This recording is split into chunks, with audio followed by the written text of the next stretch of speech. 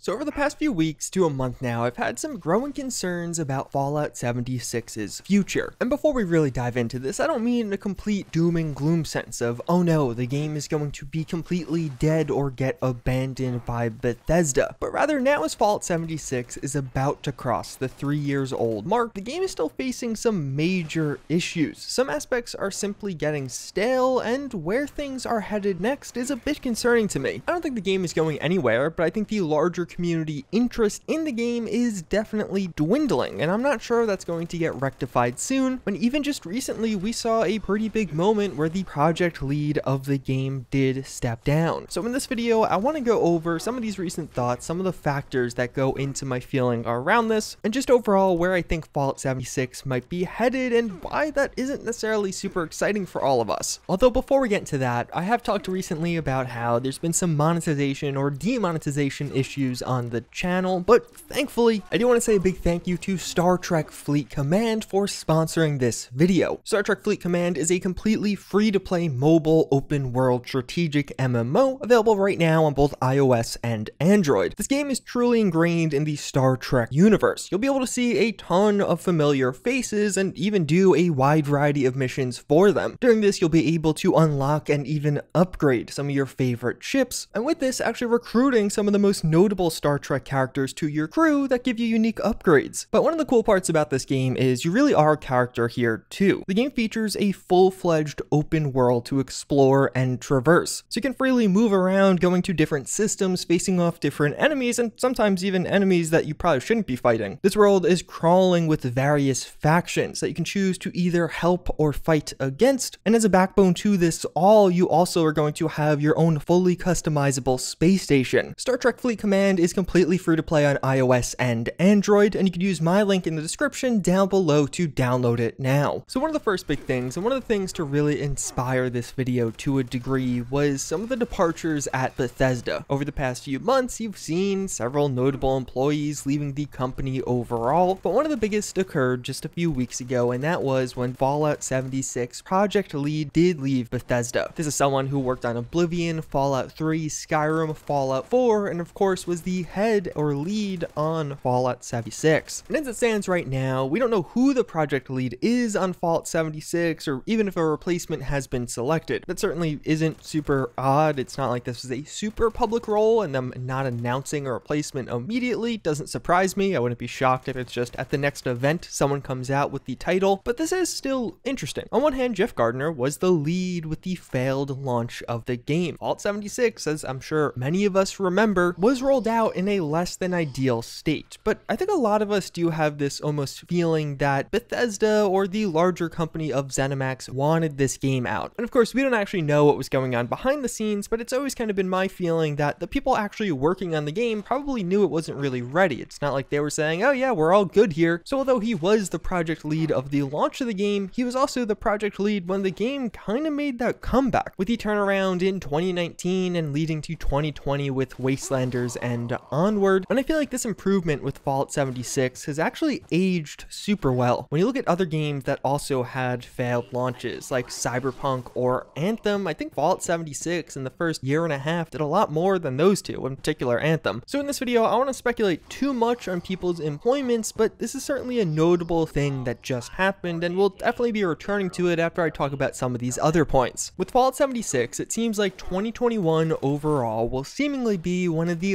lightest year as far as content goes. The content we did get has largely been really solid. That's not to say that there have been bad updates in 2021, but as far as the raw amount of new things to do, how many hours of new and additional activities they added to the game this year, it's probably the smallest out of the game's three years thus far. The first few months we largely saw quality of life updates, again, super solid, but not really a bunch of new things to do, just underlying improvements for the game. The middle of the year we did see some of that new stuff, the Steel Rain update as what was probably the biggest update of the year. And then of course, just recently we get the Fallout Worlds update, which for a lot of people is just a miss, a feature that many aren't going to entertain or use too widely, but I just talked about that completely in that video, so I'll leave it at that. And as far as the rest of the year, Bethesda just announced that there's only two updates left, one being a bug fixing and a quality of life update again, and then finally one that will add in the new event, 4-star legendaries, and seemingly there's a small Halloween event in the works. So the, the year still isn't over. Again, the game does have two more updates. When you look at what we know and what the calendar shows for the rest of the year, there really isn't a lot left on the horizon. It's not like we had a ton of content come out already. But of course, one of the biggest things to stand out from this overall is that the story content was extremely short in 2021. Steel Rain was all we actually got this year, and it seemingly is all we will get this year. Not to say that Steel Rain wasn't enjoyable, but for me, it only actually took about three hours to complete. Four if you really stretch things out or took your time with it. I don't think with Fallout 76 we are ever going to see a Wastelander size story edition again, which is a big disappointment for me because if you remember, when they were working on Wastelanders, there was this talking point where they described how they were setting up the framework for the future, implementing some of those back-end systems that they would be able to build upon and use going forward for additional story content, which technically they did, but if you actually look at how much has been added, it's not that much. Since Wastelanders, we have really only gotten around 6 to 8 hours of new story content with the two Brotherhood of Steel DLCs. And in my actual experience, how long it took me to beat both of them, it was only 6 hours of new content in total. And to put that into perspective, that will mean in around a year and a half of dev time, Fallout 76 only got about 6 hours, or let's just stretch it out to 8 hours of story content. That's not much in a year and a half time, and of course, looking ahead, it's not like new story content's around the corner, that'll likely technically end up being even longer before the next story-based content does drop, and it seems like one of the big issues around this, and one of the reasons Bethesda has been moving away from it is players just complete that content too quickly. So Bethesda is focusing more on repeatable content. This is things like daily ops, additional grinds like we have with legendary crafting, or even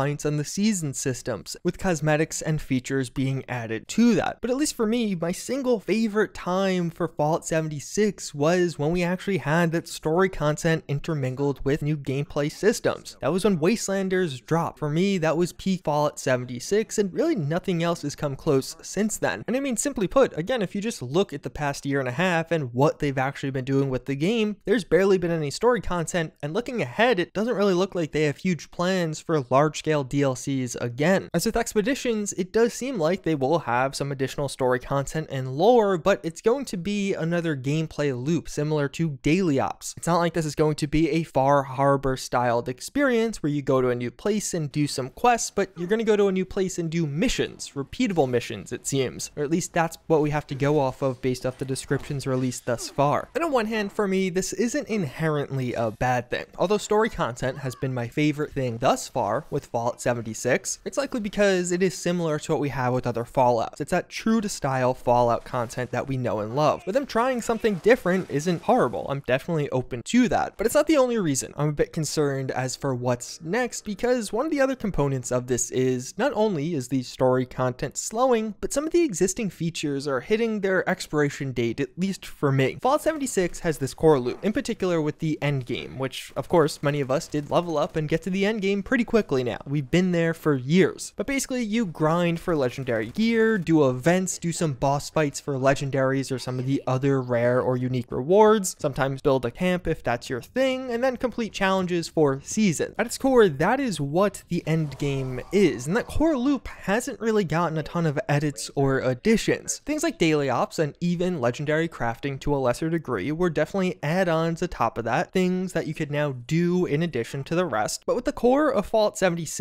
really remaining so similar for so long, even as we get slight modifications or even just additions to daily ops, I find that they're getting stale even a bit quicker for me. And that's where I get to that mentality of these features almost hitting an expiration point. I'm just finding myself getting bored of them even when some of the Twister updates are added because at its core, it's really remained so stable for years now. We have done daily ops so many times, or even just like how many times have I actually fought the Scorchbeast Queen, cleared West Tek, done the fight at Encryptid. It's been several years now for many of those core features, with not a lot of alternatives being added along the way that even though now it might be with some new armors, some new weapons, or even for new armors or weapons or unique rewards, I find myself growing tired of some of those features a bit quicker because they haven't really been getting replaced or not a ton of additions have been added along the way. And now maybe that's just a me issue. It definitely could be. I still enjoy the game overall, but that core endgame gameplay gameplay loop has become more stale to me as of late. And although it could just be a me problem, I don't think it is. I think this is a bit of a big issue underpinning the community right now as you start to see more players kind of complaining about things, whether it be the lackluster season or just getting bored of the season grind overall as we're kind of hitting that breaking point or just getting tired of the grind itself. Even though legendary crafting was a cooler, interesting feature, it kind of was just doing the same thing of fighting this mountain of RNG at a small chance at a good weapon. And this is all not to mention that along the way there have been several major feature removals. Not necessarily the biggest issue in the world, but the three years since release, Fallout 76 has only gotten so many huge updates. And now we've really seen three of them get removed. That was Nuclear Winter, Survival Mode, and Vault Raids. And this all kind of brings me to a point where my hope is dwindling on the future of Fallout 76, in particular when it comes to specific features. I have long requested things like guilds, mod support, and even White Springs having an actual purpose, but if the game finally gets mod support 3.5 years in, I'll still enjoy it and play a ton of it, but I have a feeling I couldn't help but feel I wish this came earlier. And in particular, if they finally release mod support just a few months before their company releases another AAA large-scale RPG. Feels like of all the time to add mod support, that was a bad one, and that's still even just assuming it actually comes in 2022 because we still have no idea. So as we look ahead, again, I don't say this all in a sense that I think Fallout 76 just is going to get abandoned. It just, I find myself focusing more and more just on the new content. The big new update to the game isn't getting me replaying the game again, it's getting me to retry some of that new content and then just I'm so kind of tired or have overdone the older content that I really don't even touch it again. This game having a new project lead could definitely be a good thing, but it definitely seems like there's a fundamental issue around dev time. I don't think one project lead could completely change that. The rate at which this game gets content just feels too slow to me. And I think 2021 is a prime example of that. Now, maybe the game will see more investment. Maybe that is why this project lead is happening. Maybe they want someone else new to lead a larger and better team. We don't really know, but this leaves me wondering, well, how many games really started their big comeback or really took themselves to the next level in year four? I feel like that's pretty rare. Most games have hit their stride by then or don't. In some ways, it almost feels like Fallout 76 is approaching a maintenance mode, which might be completely wrong. It seems like Expeditions is this next big feature. The hybrid of some story content, kind of with repeatable content, but I think it's going to really be a focus on missions and smaller scale and more frequently released, or at least hopefully frequently released. And I have a feeling once Expeditions ends up getting announced, we're going to see disappointment on the community who were expecting something like a Fallout 4 DLC. And although Expeditions will take us off map, almost certainly establish new lore for their locations, of course, first and foremost with the Pitt, I don't think they're going to be that big. I don't think there's going to be that much new lore or that much story content intertwined with it. And again, for all these other factors I mentioned and established in this video, I'm a bit concerned as to what that all spells out for Fallout 76. It does definitely feel like Fallout 76's evolution is moving further and further away from story content. The game will definitely still get support, especially when it's the only Fallout game actively getting support by Bethesda. And really just overall, that's a summation of my thoughts. I'd really love to hear what you guys feel about all of this in the comments down below. Again, the project lead stepping down is what really caused me to reflect on some of this, but I'd love to know what you think. How do you feel about Fallout 76 in the past year or two? How do you feel about its future? I could definitely be completely wrong, and I do hope I am completely wrong. I don't want to be concerned about the future. Hopefully 2022 ends up being the best year ever for this game. It definitely could be, but just thus far with what's happened in 2021, it almost feels like things are going in the opposite direction. But time will tell, one way or another. And with that said, I